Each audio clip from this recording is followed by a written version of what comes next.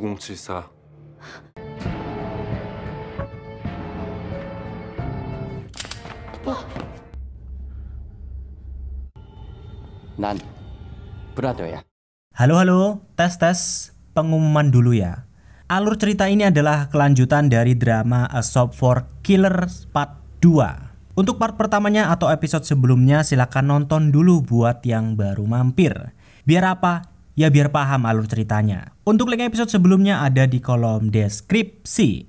Mari langsung saja kita cekidot. Di akhir episode kemarin kita sudah melihat siapa dalang di balik penyerangan Jian dan mungkin mereka lah orang yang telah membunuh pamannya Jinman, yakni kelompok dari Sungjo. Dan di episode ini kita akan mulai lagi dengan flashback ke beberapa tahun yang lalu saat pamannya masih hidup. Pada hari itu saat Jian masih berusia 17 tahun, pamannya meminta sahabatnya yang bernama Pasin untuk membantunya memperbaiki rumah. Yang walaupun rumah itu terlihat baik-baik saja dan kokoh, entah kenapa Jinman kekeh ingin merenovasinya.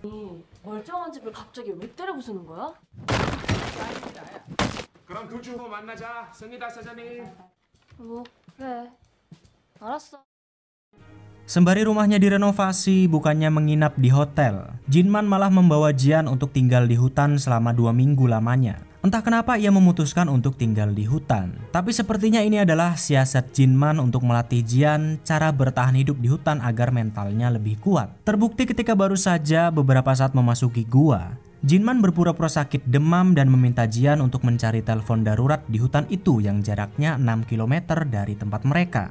Walaupun berbahaya berkeliaran di hutan seorang diri, tapi Jinman tetap meminta Jian untuk keluar dan mencarinya. 삼촌 구해주겠다는 사람 겁주는 거야? 이거 가지고 가봐 조심해 어? Dan setelah berjalan satu jam lamanya, akhirnya Jian pun sampai di tempat telepon darurat itu. Namun ketika dibuka, benar saja, Jian malah mendapati beberapa anjing yang ada di tempat tersebut sedang memakan seseorang. Entah ini hanya halusinasi atau bukan, tapi Jian juga melihat serigala yang sejak kecil selalu muncul di hadapannya. Karena ingat pesan pamannya, Jian pun berusaha menggunakan ketapelnya untuk mengusir serigala itu. Namun sayangnya ketapel saja tidak cukup untuk membuatnya takut. Dan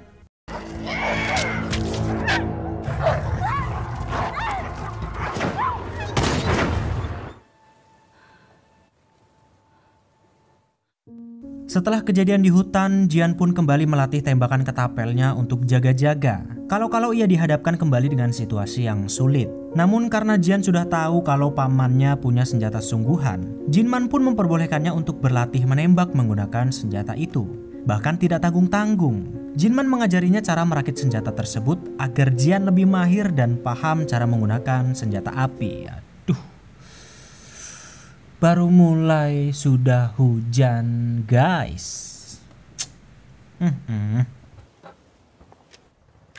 양면성을 가지고 있어 단스프링 이건 본체 가늠새 조절 호흡 가다듬고 Kembali ke masa kini saat Jian berhasil menghancurkan satu drone yang sedang menyerang mereka.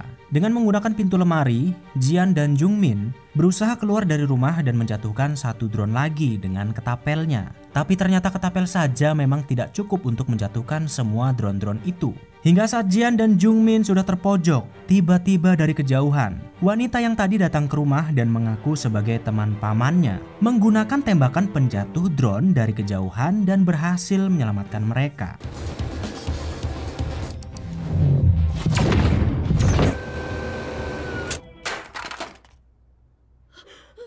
Entah musuh atau bukan, wanita yang bernama Minhi ini ujuk-ujuk datang dan membuat Jungmin pingsan setelah mengetahui dia tidak mempunyai kode. Dengan menggunakan ketapel, Jian berusaha bertahan dan menyerang si Minhi. Namun karena serangannya lemah, Minhi menangkisnya dan malah memberikan saran agar Jian segera bisa bertambah kuat seperti pamannya. Yang walaupun rada mencurigakan tapi sepertinya dia memang sahabatnya Jung Jinman.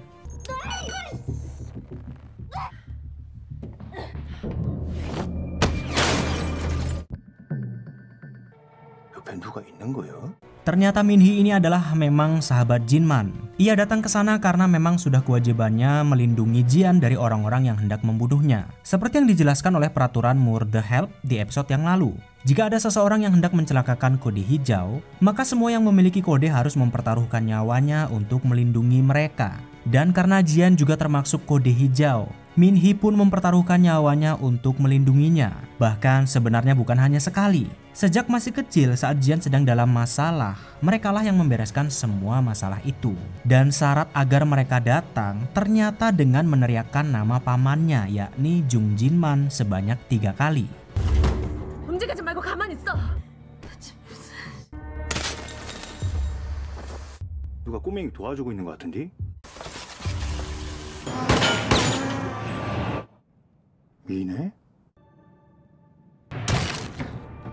dan ternyata saat di episode awal Min Hee tertembak adalah karena berusaha menyelamatkan Jian. Namun setelah Sung Jo dan para pemburu lainnya melihat sosok Min Hee ada bersama Jian, mereka pun jadi ketakutan karena ternyata Min Hee dikenal mempunyai kemampuan berada di tingkat kelas S. Bahkan Min Hee mempunyai dua kode, yakni kode merah dan ungu. Entah sehebat apa sebenarnya dirinya, tapi yang jelas, Sung Jo dan para pemburu lainnya tidak ingin mengulur waktu lebih lama lagi dan segera menuju Jian.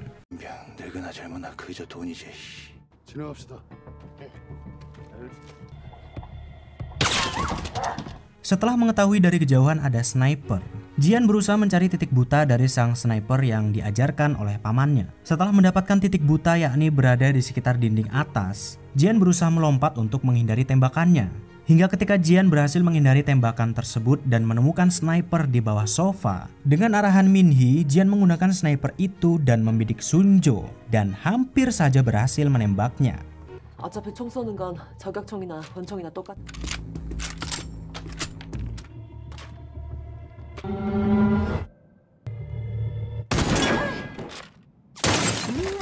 Namun di saat itu juga ternyata kelompok Pak Kim sudah berada di luar pintu dan berhasil mengepung mereka. Min Hee yang memang ditugaskan untuk melindungi Jian lantas memintanya untuk segera pergi ke kudang untuk bersembunyi. Karena ternyata toko Murde Help, tempat pamannya menyimpan semua senjata-senjata itu ada di gudang bawah tanah tempat pamannya bekerja. Bersama Jung Min yang sudah sadarkan diri, Jian pun berusaha mencari gudang tersebut sesuai arahan Min Hee. Sementara Min Hee sendiri berusaha melindungi Jian dan membabat habis semua orang-orang yang hendak membunuhnya.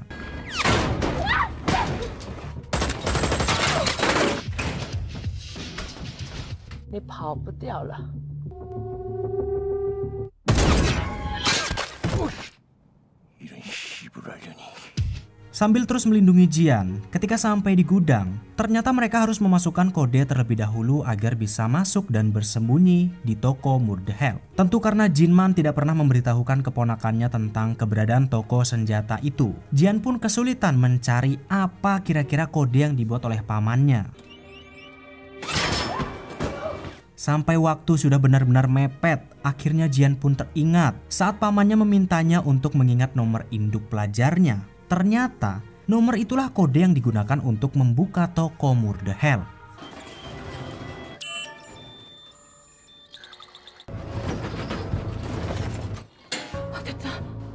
Setelah berhasil masuk, mereka pun terkejut karena ternyata benar pamannya adalah penjual senjata dan semua senjata-senjata itu ada di bawah rumahnya. Namun ketika Jian baru saja masuk, tiba-tiba entah yang bagaimana caranya dan siapa, ternyata di dalam toko itu sudah ada orang yang bersembunyi dan terlebih lagi, ternyata dia kenal dengan Jian.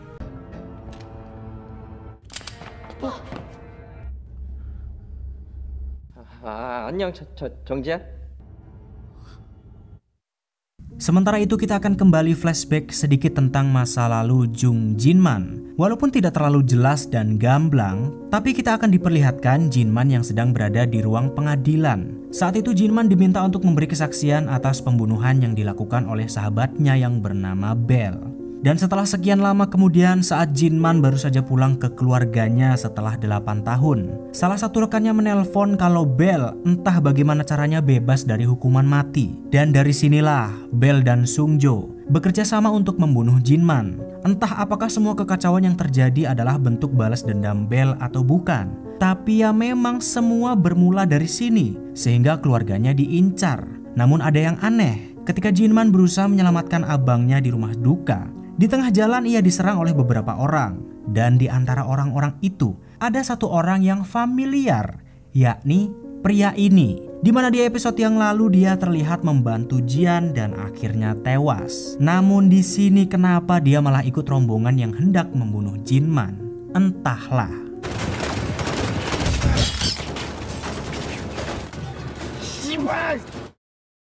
Dan kita kembali ke masa kini dengan Minhee yang masih berusaha membabat habis semua orang-orang yang hendak membunuh Jian. Dengan mengandalkan gelapnya gudang, Minhee bersembunyi di loteng dan mengawasi pergerakan mereka satu persatu. Hingga pada akhirnya, karena sudah gatel, Minhee pun mulai menyergap mereka satu persatu dengan sangat lihainya. Dan dari sinilah kita bisa tahu, ternyata dua kode yang dimilikinya dan peringkat S Minhee memang bukanlah kaleng-kaleng.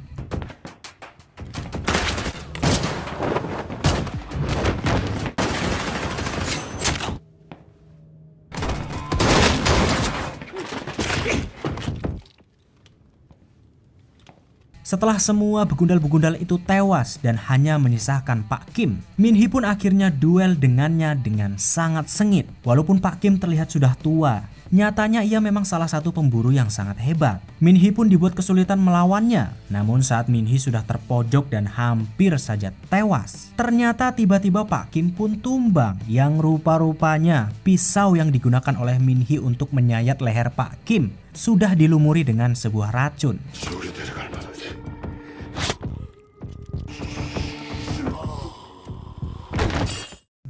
Di dalam Murder Help sendiri, Jian dan Jungmin masih tidak bisa bergerak karena ditodong oleh pria bertopeng. Yang entah siapa sebenarnya pria bertopeng ini. Ia pun meminta Jian untuk segera memborgol Jungmin. Karena tidak punya pilihan lain, ya Jian pun nurut-nurut saja. Tapi saat lengah, Jian lantas mengambil kesempatan itu dan melumpuhkan si pria bertopeng yang ternyata dia adalah masa lalu Jian yang bernama Jun Myeon atau Brother.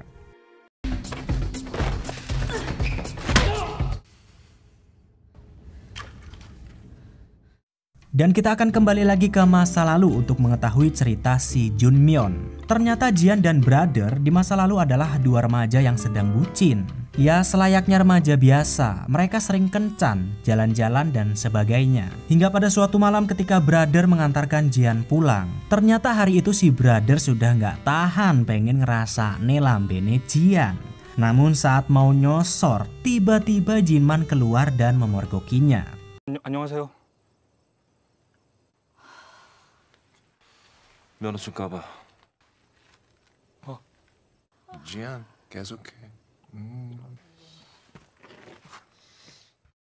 Setelah kejadian itu si brother Saknean ini pun tidak mau lagi bertemu dengan Jian. Bahkan melihat wajahnya pun dia sudah tidak mau.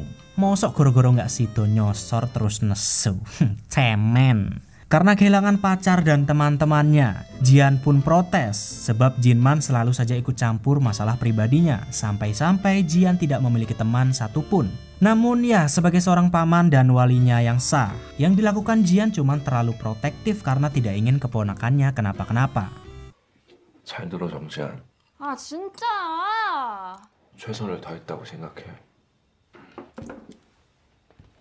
karena kesal pamannya yang selalu saja ikut campur urusan pribadinya, Jian pun memberontak dan mengatakan akan segera pindah dari rumahnya. Tentu keputusan itu sudah Jian pikirkan matang-matang untuk bisa keluar dari bayang-bayang pamannya yang selalu overprotective.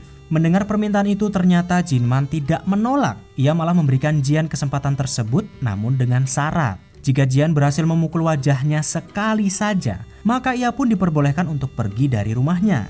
Namun ya, Tentu tidak mudah walaupun hanya menyentuh wajah pamannya itu.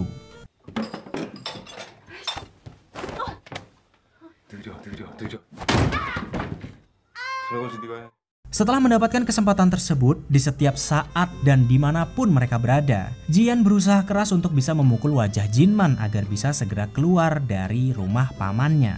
Namun ya mau berapa kali pun Jian mencoba tetap tidak mudah.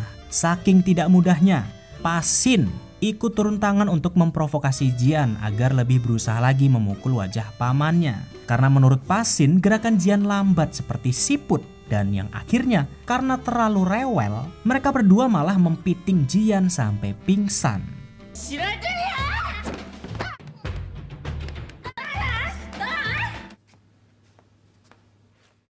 Karena sangat ingin keluar dari rumah pamannya, Jian pun pergi ke rumah Pasin untuk meminta diajari cara bertarung dan mempiting seperti yang dilakukan kepadanya. Ternyata Pasin ini walaupun terlihat nyeleneh, dia adalah seorang petarung Muay Thai profesional. Mendengar permintaan Jian, Pasin malah memanfaatkannya dan meminta bayaran kalau memang Jian mau diajari bela diri Muay Thai. Dengan bayaran 50 ribu won per minggu, akhirnya Jian pun belajar bela diri dari Pasin. 파신이라는 거 뭐든 다 할게. First lesson. Setelah mendapatkan seorang guru, setiap hari Jian selalu berlatih Muay dengan sangat rajin, biar nggak dibilang siput lagi. Berangkat sekolah sambil latihan, pulang sekolah juga latihan. Bahkan di tempat kerja, Jian pun tetap latihan. Hingga sampai beberapa bulan berlalu dengan latihannya yang sangat giat. Akhirnya Jian pun mengalami sedikit kemajuan dan mungkin sudah bisa memukul wajah pamannya. John you?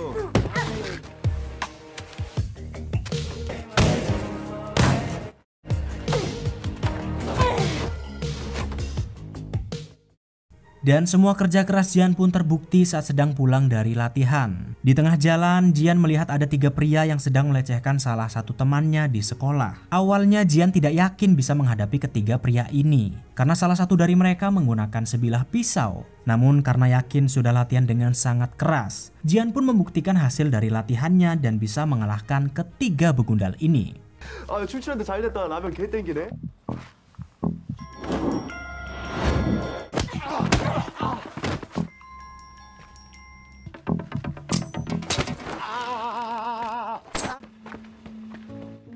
Namun saat Jian kembali ke rumah Pasin untuk latihan, tiba-tiba ada banyak sekali kerumunan dan polisi yang sudah datang. Ternyata entah benar atau tidak, Pasin dikabarkan kabur dan membawa semua hutang-hutang yang banyak sekali dipinjam dari warga sekitar.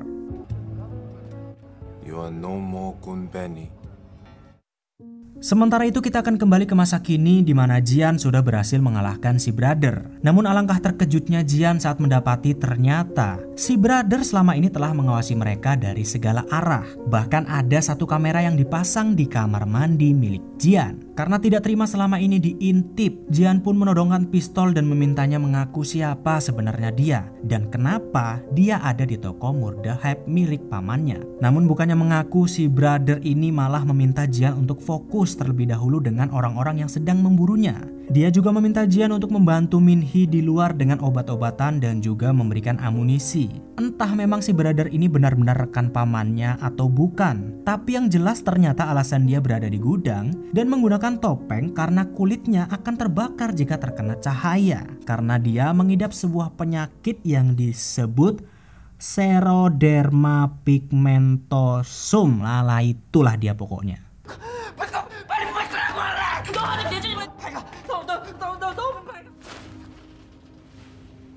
Setelah mengetahui penyakitnya entah kenapa, Jungmin malah menyumpal mulut si brother saat hendak memberitahukan sesuatu. Tidak ingin membuang-buang waktu, Jian dan Jungmin mencari tahu tentang siapa sebenarnya pamannya. Namun tiba-tiba si brother yang dari tadi diborgol ternyata bisa lepas dan mengatakan kalau Jian tidak boleh mempercayai sahabatnya Jungmin.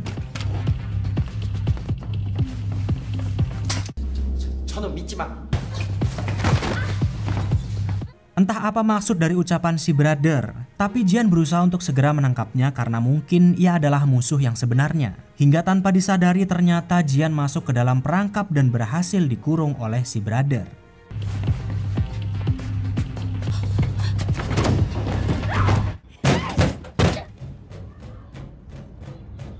Setelah berhasil mengurung Jian, si brother pun segera melumpuhkan Jungmin dan memborgolnya. Sementara itu, Jian yang berada di ruang khusus diminta untuk membuka laci kedua yang ada di meja CCTV untuk membuka sebuah berkas. Brother menjelaskan bahwa isi berkas itu adalah seperti surat kuasa penuh dan syarat-syarat yang harus Jian patuhi untuk menjadi penerus dari pamannya, yakni pengelola Murder Help. Si brother mengatakan kalau dia ada di pihak pamannya karena memang semua ini adalah rencana Jinman agar Jian mau menjadi pemilik Murda Help selanjutnya jika pamannya sudah tewas.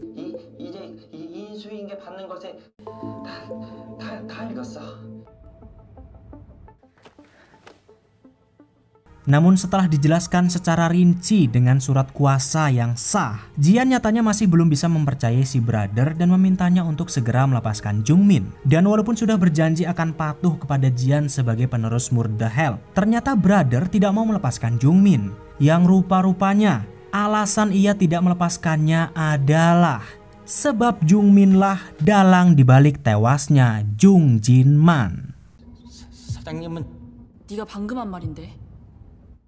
배, 배정미 때문에 죽었다. Entah siapa yang benar, apakah si brother ada di pihak Murder Help atau Jungmin memang dalang dibalik tewasnya pamannya. Jian yang sudah puyeng pun jadi galau siapa kira-kira yang akan ia percayai. Namun untuk mengetahui kebenarannya, Brother lantas meminta Jian untuk membuka berkas 404 yang ada di komputer. Di mana berkas ini katanya akan memperlihatkan fakta siapa Jungmin yang sebenarnya. Namun karena memang si Brother yang masih begitu tampak mencurigakan dan Jungmin merinci alibi-alibi yang membuatnya tambah bingung, Jian lantas melepaskan si Brother untuk melepaskannya dan memintanya keluar membantu Minhee dengan obat-obatan dan amunisi yang diperlukan. Tiga kah? 이, 이건 서- 서- 선물.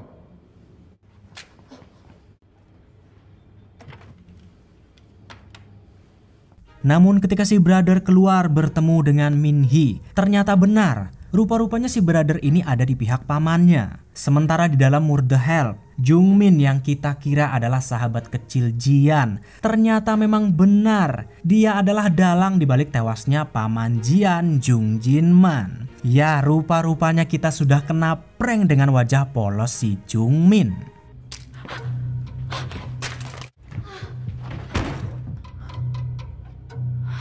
효과는 확실하더라.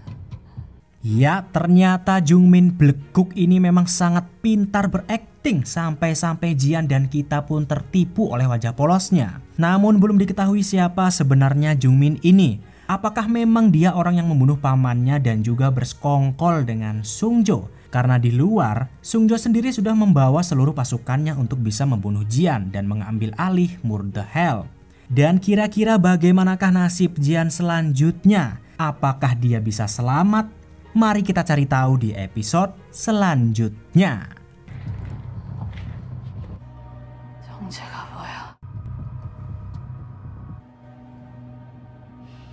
Bersambung.